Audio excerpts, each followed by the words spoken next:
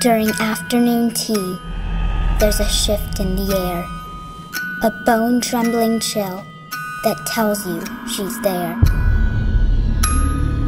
There are those who believe the whole town is cursed, but the house in the marsh is by far the worst.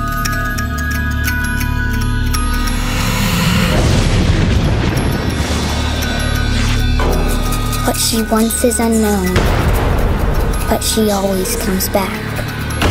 The specter of darkness. The woman in black.